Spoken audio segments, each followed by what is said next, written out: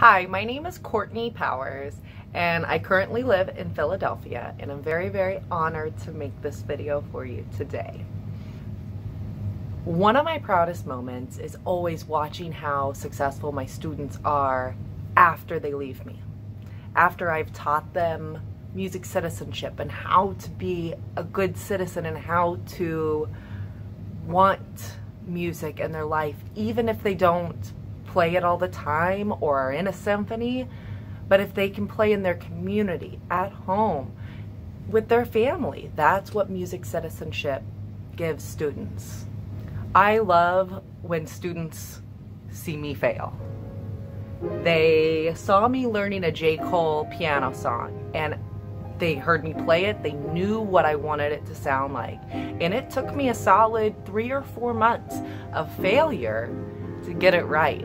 And having the students see that process of me working on a song and something I was passionate about, I think really rang home to them is when the Eagles went to the Super Bowl and I had my Bell students arrange and play the Eagles fight song and we made it on Fox 29 and all the kids and the parents were super super excited and the kids got recognized and they super loved it. It was really really fun for them to be able to take pride in that and their arrangement. If I'm teaching a hip hop song, I'm making sure I'm giving them that sample. So, like, one of my favorite activities I did was um, the Beethoven rap with Nas I Can. The students learned all about Beethoven and they fell in love with him. They were like, oh my gosh, he's so cool. And I was like, we're gonna write a rap about him. And we did. And it's a student written rap. And one of the lines is, and the girl right in the front she loved getting that line. One of my significant challenges was going through a divorce, and my lunch bell crew was there for me. They were there for me every day for four years. Every lunch, we ate together, talked, and made music. They came on their own lunchtime, and I came on my own lunchtime. One of the quotes from my sixth grade Bell student reads as follows It takes hard work to be able to teach, but it takes harder work to teach the importance of learning and to make students understand that. Miss Noah, you have accomplished that. At Edison High School, where I taught this year, most of my students did not speak English. But we were still successful because music transcends language. And they understood the value of being a music citizen and wanting that end goal. The end goal, mystery Skype, where we can mystery Skype with a classroom, a music classroom across the country, and the kids can see other kids learning music, learning the same thing that they're learning. Uh, if you've not played before, you're to play by the end of class, and we're playing everything together. It takes a lot for the students to trust that and to trust me that they're not going to get embarrassed and that it's a safe environment to have fun and make mistakes. I make mistakes all the time. It's okay.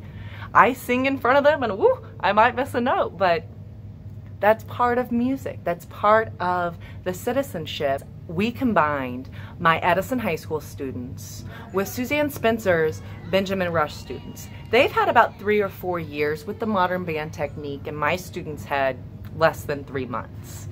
We combined them together into 10 groups. They had one hour to produce a song and performance.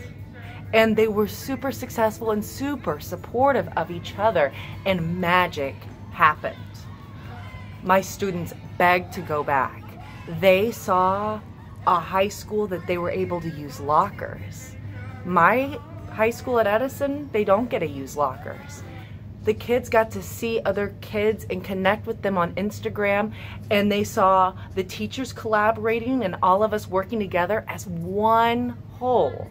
Even though we're way across the city from each other, we're still in the same city and we're still making music together. And that's my passion, is making music citizens. Sometimes I have families that work a couple different jobs and the kids are home a lot and they don't have much to do. So they're on their phone. Why not give them positive things to look at? I recorded whole violin lessons just so kids could have somebody to play along with when they practice. One of my favorite memories is of my first year of teaching where I collaborated with the art teacher to make Beatles album covers. And then it turned into a huge thing where we had the kids put them up on the wall, we laminated them, they voted on them, and even the newspaper came out and interviewed our students. Um, and they felt so empowered that their art was up there and they knew the songs on that album and they knew what the style of art was going with all the different types of Beatles albums that there were. Thank you so much for your time, and I'm very, very honored to be a quarter finalist for the Grammy Music Educators Award. Thank you, and have a great day.